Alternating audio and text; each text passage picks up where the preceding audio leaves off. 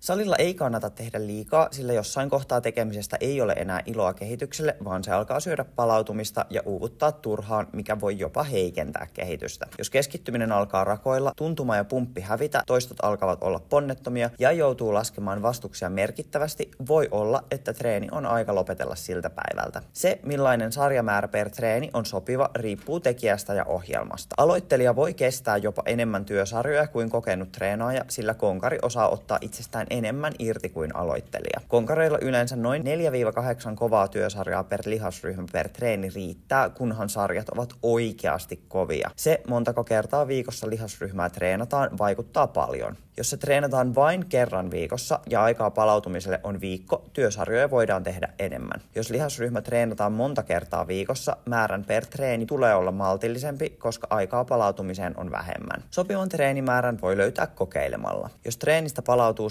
seuraavaksi päiväksi eikä tekeminen oikein ole nousujohteista, määrää kannattaa nostaa yhdellä viiva kahdella sarjalla per treeni. Jos treenistä palautuu täysin seuraavaan treeniin mennessä ja tekeminen on nousujohteista, määrää voi halutessaan kokeilla nostaa yhdellä viiva kahdella sarjalla per treeni. Jos seuraavassa treenissä on vielä vähän tuntemuksia, mutta tekeminen on nousujohteista, niin määrä on melko sopiva eikä sarjamäärää kannata nostaa. Jos ei oikein palaudu, lihakset ovat kipeät ja suorituskyky alentunut seuraavassa treenissä, määrä on ehkä liian suuri ja sitä voi kokeilla laskea yhdellä viiva kahdella sarjalla per treeni.